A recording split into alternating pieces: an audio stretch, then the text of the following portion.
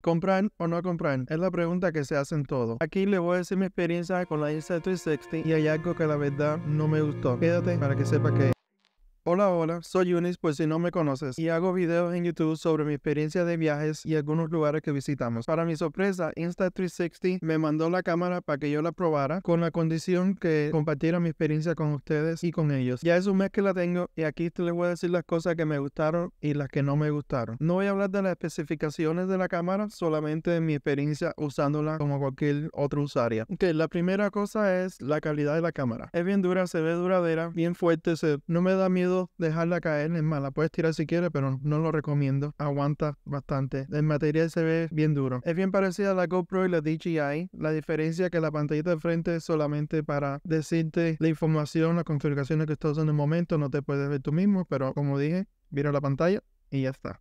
La batería se puede cambiar y quitar, o si quieres comprar batería extra, puedes cambiarla y andar con varias baterías. Normalmente dura como una hora, algo, se lo estás usando continuamente, pero si la usas para grabar aquí, un pedacito aquí y otro allá, te dura más de como dos o tres horas me ha durado a mí. La cámara se calienta un poquito cuando ya mucho rato usándola, pero nunca se me ha apagado. Es bastante buena, he escuchado en otras cámaras que enseguida se apaga y no pueden grabar más. Lo otro es la calidad del video. La verdad que el video se ve bien clarito, bien nítido, los colores bonitos, se pasa un poco en lo que es el cielo, se ve bastante azul, pero es algo que ¿sabes? puede llamar la atención. Tiene, le puede cambiar un profile a flat, que eso lo que hace baja un poco la saturación y el, y el contraste, pero no es mucho, es un poquito nada más. Que no me gusta del video o en sí de la cámara, que cuando quieras grabar necesitas usar vamos a suponer, cuando quieras grabar tipo blog así delante de ti, tienes que usarla en un selfie stick porque si la usas así cerca, la persona sale borrosa y es porque la distancia mínima para enfocar es como de un pie y medio, dos pies. eso es algo que no me gusta, si sabes, o a las personas que quieran usarla como blog es algo que tienen que tener en mente o comprar el selfie stick. Yo uso el mismo que vino con la Insta360 X3 o Otra cosa que me gusta, ahora mismo la cámara está apagada. Si quieres grabar algo rápido, solamente aprietas aquí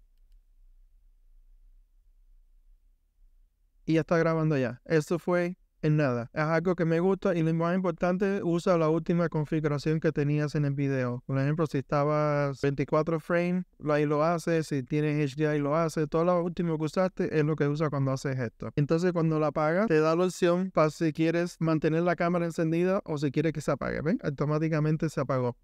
Otra cosa que me gustó mucho son las configuraciones, especialmente para los colores. Ahora mismo si ven, yo lo tengo en estándar, pero viene con muchas más, pues si lo quiere con colores más fuertes, más planos, dependiendo de varias actividades, si va a montar bicicleta, en la ciudad, en la nieve, todo, tiene muchas configuraciones ya seteadas o no tiene que estar cambiando todo y se queda ahí mismo grabado automáticamente. Si tienes tu propio tipo de video, puedes crear tu propia configuración y se queda grabado ahí todo el tiempo. Ahora vamos a hablar del problema más grande que he tenido con ella y hay mucha gente que va a tener el mismo. La, la pantalla, como dije, es clara, brillosa, pero si tienes uno de estos lentes polar, polarizados. si tienes uno de estos lentes que son polarizados, tengo que cómo se dice. No sé cómo polarized en español, no sé cómo se dice. Los, tienen los lentes con polarización, así que se dice.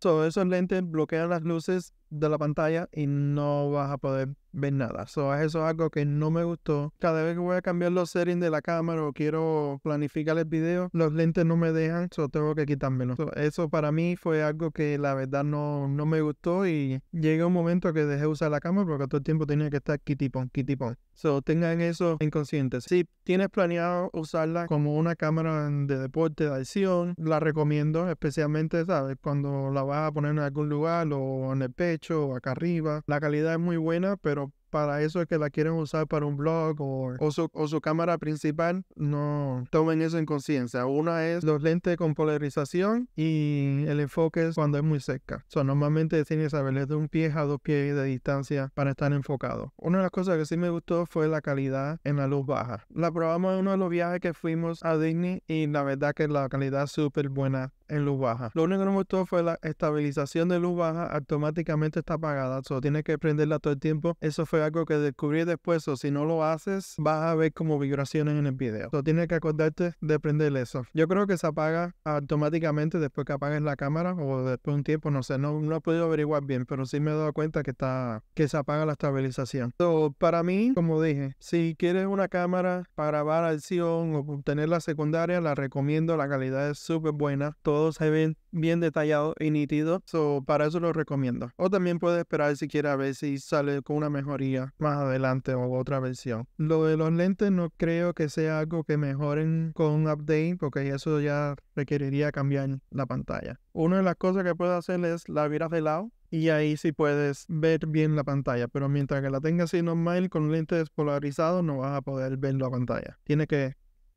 girar un poco. So, esa fue mi experiencia usando la Insta360. ¿La seguiré usando? Claro que sí, en algunos videos la puedo seguir usando. Lo bueno es que los accesorios son lo mismo que uso la GoPro. So, ya tengo algunos de esos, más otros que me mandaron a Insta360 con la cámara para usar con la bicicleta. Espero que les haya gustado. Esta es mi primera vez haciendo este tipo de videos. o si te gustó, dale un like abajo y no olvides de suscribirte. Si quieres saber mi experiencia con la Insta360 X3, esa ya la tengo ya hace más de un año. Le puedo también hacerle otro video sobre esa cámara de 360. Hasta el momento es la cámara más popular que hay en el mercado hasta que salga la X4, que supuestamente a finales de año tal vez. Eso es todo para hoy. Si quieres ver mis videos de viaje, dale aquí y podrás verlo todo. Nos vemos ahí. Chao.